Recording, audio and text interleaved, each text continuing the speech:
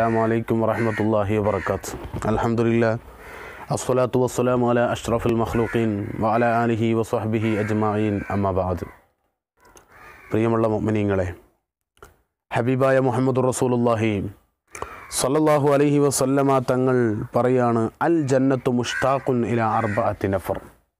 മൂന്ന് വിഭാഗം ആളുകളിലേക്ക് സ്വർഗം ആഗ്രഹിച്ചു കൊണ്ടിരിക്കുമെന്നാണ് മൂന്ന് വിഭാഗം ആളുകളെ സ്വർഗം കിട്ടാൻ വേണ്ടിയിട്ട് ഒന്ന് എത്തിപ്പെടണം ഒന്ന് എത്തിയിരുന്നുവെങ്കിൽ എന്ന് കരുതിയിട്ട് സ്വർഗം ആഗ്രഹിച്ചു കൊണ്ടിരിക്കുമെന്ന് നബിയുന റസൂലുള്ളാഹി. ഏതൊക്കെയാണ് ആ മൂന്ന് വിഭാഗം ആളുകൾ? അള്ളാഹുവിന്റെ റസൂൽ പറയുന്നു ഒന്ന് താലിൽ ഖുർആൻ. ഖുർആൻ പാരായണം ചെയ്യുന്നവനാണ്. നിരന്തരമായി ഖുർആൻ ഓതുന്നവൻ ഖുർആൻ പാരായണം ചെയ്തുകൊണ്ടിരിക്കുന്നവൻ ഇവനെ സ്വർഗം മുഷ്താഖുൻ സ്വർഗം ആഗ്രഹിച്ചു കൊണ്ടിരിക്കും ഒന്ന് എത്തിക്കിട്ടിയെങ്കിൽ ഒന്നവൻ വന്നിരുന്നുവെങ്കിൽ എന്ന് സ്വർഗം ആഗ്രഹിച്ചു കൊണ്ടിരിക്കുമെന്നാണ് രണ്ടാമത്തതോ ഹഫിദുൽ ലിസാൻ നാവിനെ സൂക്ഷിക്കുന്നവനാണ്. നാവ് കൊണ്ട് മറ്റുള്ളവരെ കുറിച്ച് ഐബത്തോ നമീമത്തോ പറയാറില്ല. നാവ് കൊണ്ട് മറ്റുള്ളവരെ കുറ്റം പറയാറില്ല. നാവ് കൊണ്ട് ഒരു വടക്കും മോശമായ വർത്താനവും അവൻ പറയാറില്ല. ഇവനെയും സ്വർഗം ഇങ്ങനെ ആഗ്രഹിച്ചു കൊണ്ടിരിക്കും മൂന്നാമതോ cuando നബി സല്ലാ അലൈഹി വസല്ലം പറയുന്നു ജി ആൻ പാവ വിശന്നവനിക്ക് ഭക്ഷണം കൊടുക്കുക. എല്ലാവർക്കും ഭക്ഷണം കൊടുക്കലല്ല. വിശന്ന് ഭക്ഷണം ആവശ്യമുള്ളവനിക്ക് വിശപ്പ് കൊണ്ട് ബുദ്ധിമുട്ടുന്ന ഇന്ന് എത്രയോ ആളുകൾ ദാരിദ്ര്യം കൊണ്ട് വിഷമിക്കുന്നവരുണ്ട്. ഒരു നേരത്തെ വെള്ളം പോലും കിട്ടാതെ വിഷമിക്കുന്ന ആളുകളുണ്ട്.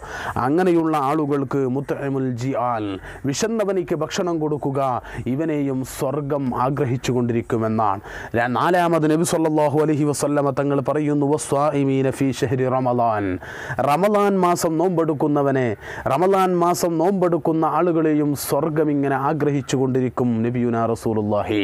സല്ലല്ലാഹു അലൈഹി വസല്ലമ തങ്ങൾ പഠിപ്പിക്കുകയാണ്. മഹാനായ അബ്ദുല്ലാഹി ഇബ്നു ഉമർ റളിയല്ലാഹു അൻഹുവിനെ തൊട്ട് റിവായത്ത് ചെയ്യുന്നു.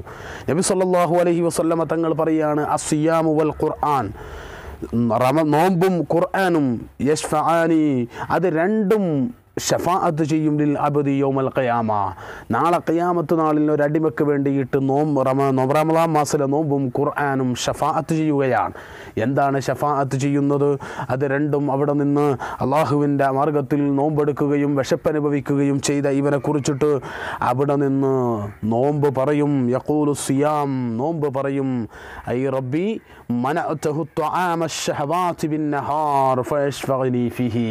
എന്താ പറയുന്നത്?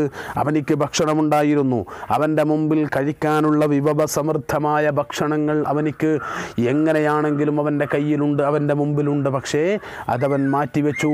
അവനിക്ക് വെള്ളം ആവശ്യമുണ്ട് പക്ഷേ അതവന് മാറ്റിവെച്ചു. അവനിക്ക് വികാരങ്ങളും വിചാരങ്ങളുമുണ്ട് അത് ശമിപ്പിക്കാനുള്ള ഭാര്യയും അതിനുള്ള സംവിധാനവും അവനിക്കുണ്ട്.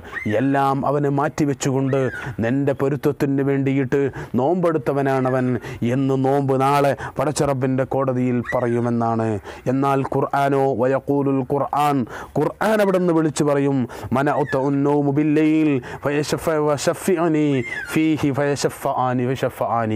കണ്ടോ? അവിടെ നിന്ന് രണ്ടും നമുക്ക് വേണ്ടി ഷഫാഅത്ത് ചെയ്യും. ഖുർആൻ പറയും പകലിൽ അവൻ ഉറക്കമൊഴിഞ്ഞുകൊണ്ട് ഒരുപാട് രാത്രിയും പകലും അവൻ ഉറക്കമൊഴിഞ്ഞുകൊണ്ട് എന്നെ പാരായണം ചെയ്തവനാണ്. എന്നെ ഓതിയവനാണവൻ. അതുകൊണ്ട് പകലിൽ അവൻ നോമ്പ് ഭക്ഷണമൊക്കെ ഒഴിവാക്കി നോമ്പ് നോക്കുകയും രാത്രിയിൽ ഉറക്കമൊഴിഞ്ഞുകൊണ്ട് അവൻ ഖുർആൻ ഓതുകയും ചെയ്തിട്ടുണ്ട്. അതുകൊണ്ട് വൈഷഫ് ആനി രണ്ടും അവിടെ നിന്ന് ഷഫാഅത്ത് ചെയ്യുമെന്നാണ്. നമുക്ക് വേണ്ടിയിട്ട് രണ്ടും ഷഫാഅത്ത് ചെയ്യുകയാണ്.